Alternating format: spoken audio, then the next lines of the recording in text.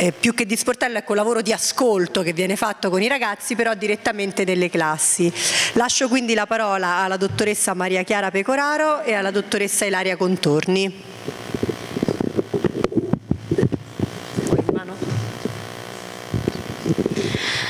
Allora, buonasera, mm, vi raccontiamo in questo, in questo, intervento quello che facciamo con il gruppo classe. Mm, diciamo che andremo molto sul, sul concreto, quindi eh, vi diremo eh, come sono strutturati i nostri interventi e come viene fatta anche la richiesta da parte degli insegnanti. Io direi prima di tutto di dare mm, diciamo, non una definizione del gruppo classe, eh, ma di spiegare come il gruppo classe viene a costituirsi fin dall'inizio. Quindi lo pensiamo mm, al, al, primo giorno di scuola di una classe di terza media, eh, di prima media scusatemi, oppure il primo giorno di scuola di ragazzi che entrano a far parte eh, di un gruppo classe di primo liceo. Che cos'è che li accomuna? sinceramente li accomuna eh, l'età sono accomunati per la loro età, non sono accomunati certo per il fatto che hanno degli interessi comuni, che eh, guarda, sono stati indirizzati eh, con un, uno specifico interesse in questo, in questo, gruppo classe. Li accomuna il fatto di essere stati costituiti, potremmo dire, eh, istituzionalmente da qualcuno che ha deciso che quei ragazzi fanno parte di quella classe. Dicendo questo, i ragazzi devono quindi fare eh, un grande sforzo, cioè quello di diventare un gruppo classe.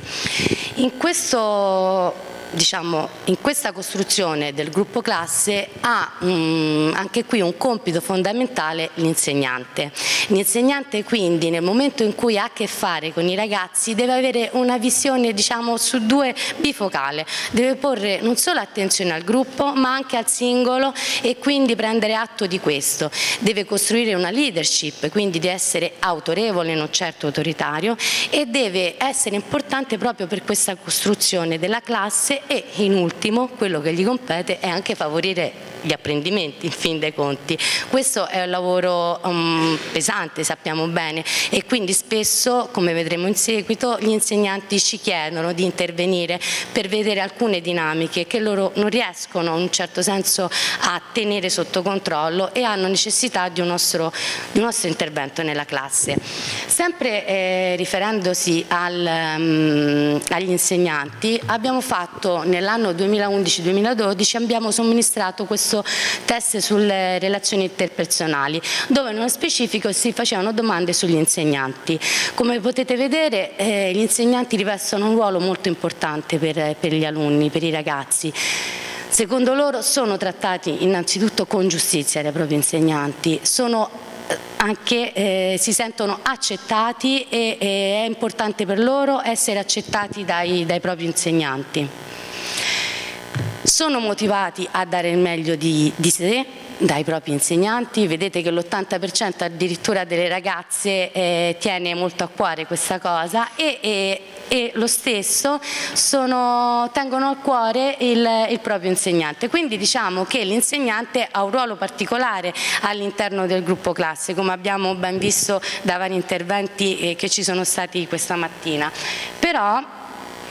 dobbiamo dire che purtroppo l'insegnante deve anche svolgere il suo compito primario, come ho detto precedentemente, che è quello di insegnare. A volte però gli si chiede di essere anche un genitore sostitutivo, di essere un confessore, a volte anche uno psicologo. Infatti alcuni insegnanti ci dicono ma io ho detto a questo ragazzo questa cosa, oppure ho agito con il gruppo classe in questo modo, ho fatto bene, non ho fatto bene,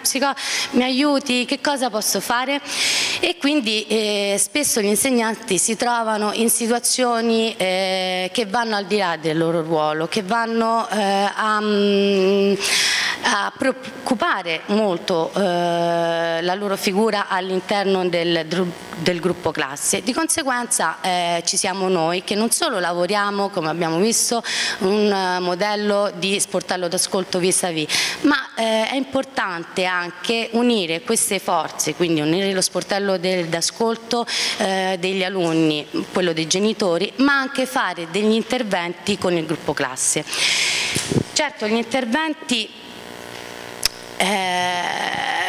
eh, che facciamo eh, consistono essenzialmente in eh, tre incontri di due ore ciascuno. Sono mh, mm, interventi molto rapidi, eh, sono interventi che vanno a cogliere la problematicità che c'è in quel momento. Eh, dico questo perché noi spesso diciamo agli insegnanti che sarebbe importante non solo fare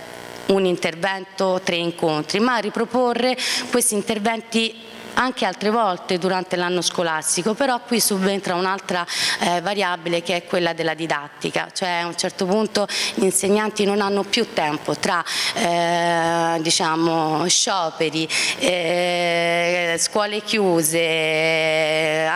feste, ponti eccetera eccetera, arrivano a fine, a fine anno praticamente quasi in pari con il programma scolastico e quindi non, non c'è possibilità di poter intervenire ulteriormente nelle, nelle scuole.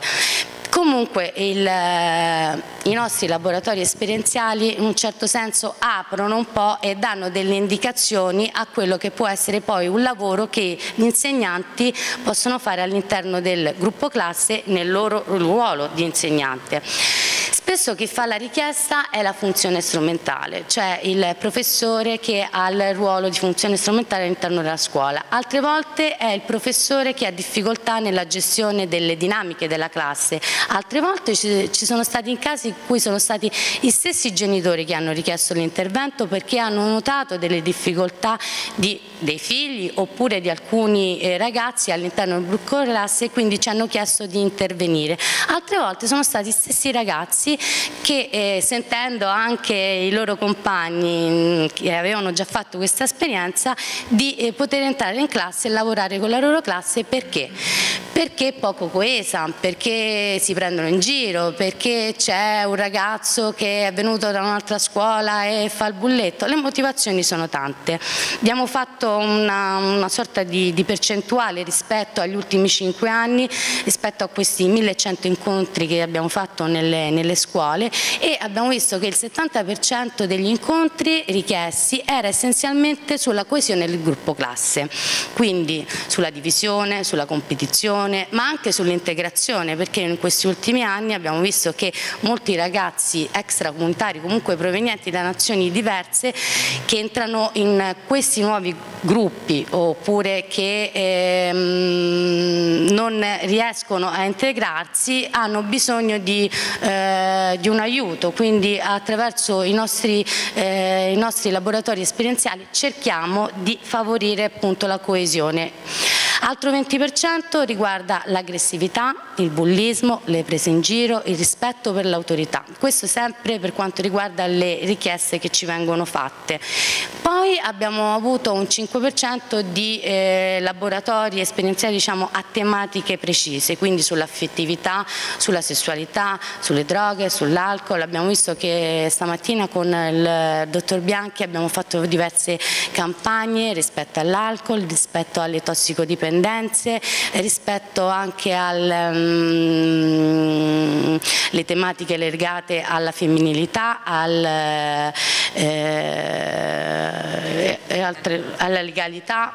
e poi abbiamo avuto anche delle, dei laboratori a tematiche specifiche, abbiamo parlato di lutti, abbiamo parlato di disturbi alimentari, di autolesionismo, perché in quel caso in cui eh, c'era presente una situazione, un disturbo talo, tale mh, diciamo che non solo il soggetto ne risente ma anche l'intera classe. Molte volte vengono allo sportello d'ascolto i compagni, gli amici che sono spaventatissimi da queste, da queste situazioni. In questo caso noi possiamo, ci chiedono di intervenire per non certo parlare della tematica vera e specifica dell'autolesionismo, però di che cos'è l'aggressività ad esempio, di come possiamo anche ehm,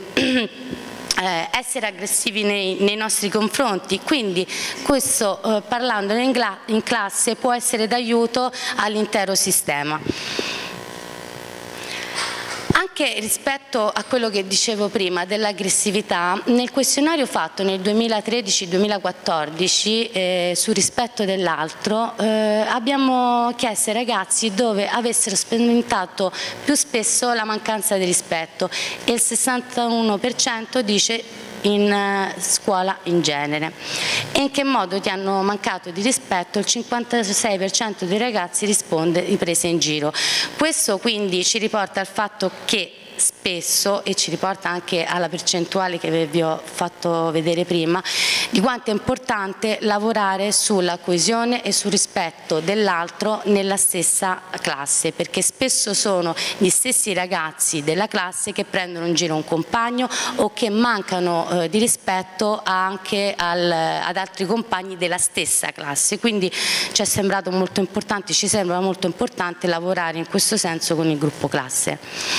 Le modalità, vi stavo dicendo, di solito facciamo tre incontri della durata di due ore, e facciamo un primo incontro con i professori per specificare ehm, cosa andremo a fare oppure capire anche la richiesta che ci fa il professore. E poi facciamo anche un incontro di restituzione non solo con i ragazzi che viene fatto eh, solitamente alla fine del terzo incontro ma anche con i professori appunto dando delle indicazioni su come lavorare sul gruppo classe, su come favorire la coesione, delle dinamiche che abbiamo visto nel particolare che possono essere affrontate con gli strumenti del professore. Altra cosa importante è specificare anche gli obiettivi e gli scopi degli interventi, non solo ai professori in questo caso ma anche agli stessi ragazzi e indichiamo ai professori come poter chiedere eh, un'autorizzazione tra virgolette agli stessi ragazzi di entrare in classe perché a volte ci è capitato di entrare in classe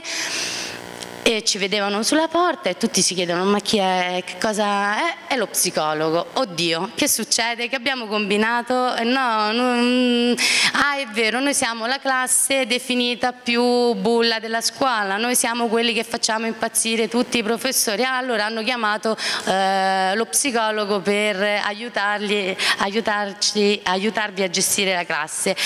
E invece no, bisogna chiarire anche con i ragazzi che non è un momento punitivo questo dell'incontro con i ragazzi, ma che potrebbe essere un aiuto per loro per favorire la coesione tra di loro, perché sappiamo che in, eh, se il gruppo funziona, funziona o anche il singolo. A volte abbiamo notato che nei gruppi divisi dove ci sono eh, aggressività tra i ragazzi, dove ci sono ragazzi più fragili, eh, spesso c'è anche il maggior numero di bocciature, di cambi di scuola, di cambi di classe, quindi lavorare in questo senso aiuta non solo la classe e l'insegnante ma anche i singoli elementi del, del gruppo e poi anche per contenere le fantasie salvifiche del, dei professori perché a volte proprio arrivano disperati che non ce la fanno più, eh, come in un certo senso anche come i genitori dicono ce la giusti, anche i professori, oddio giusta, questa classe è insopportabile, fate qualche cosa e quindi eh, diciamo sì, noi eh, cerchiamo di aprire un discorso, cerchiamo di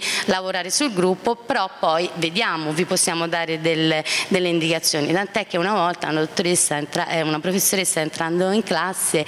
disse ma dottoressa sono sempre uguali, eh, lo so,